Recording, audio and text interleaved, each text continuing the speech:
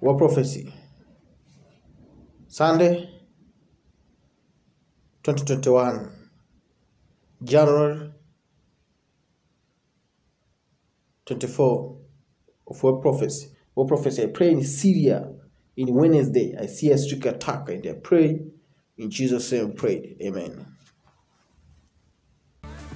Unidentified aircraft have struck numerous Iranian proxy targets overnight in Syria in several northwestern coastal cities in and around Latakia and Hama governorates.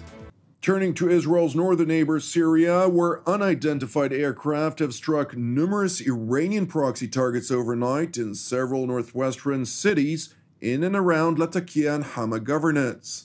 The bombardment reportedly started shortly after 2:15 a.m. when incoming missile salvos were detected over the skies of Latakia governorate.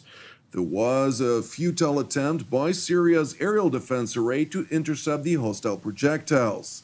Syrian army sources via the regime-run Sana news agency confirmed both casualties and material damage.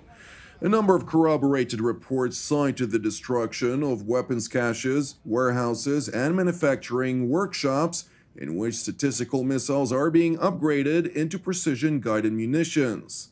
The Damascus regime has once again pointed a blaming finger toward Israel. However, the IDF spokesperson's unit did not confirm nor deny its responsibility.